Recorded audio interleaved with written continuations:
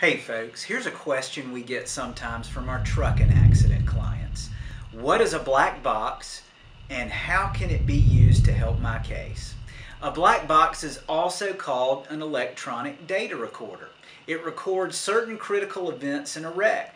Those can be used to show the trucker caused the wreck and to assess whether he drove recklessly in the crash, which can be used to help show you should get punitive damages.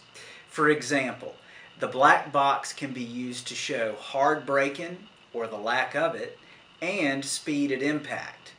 The trucker's insurance company is not just going to hand over the black box to you. And you're going to need the right expert to download the data and use it to help you by interpreting it. You need an experienced trucking attorney to protect your rights to this critical evidence and get the expert to help you.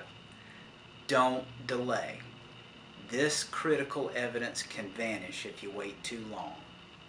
If you've been involved in an 18 wheeler accident, you've got a complicated case.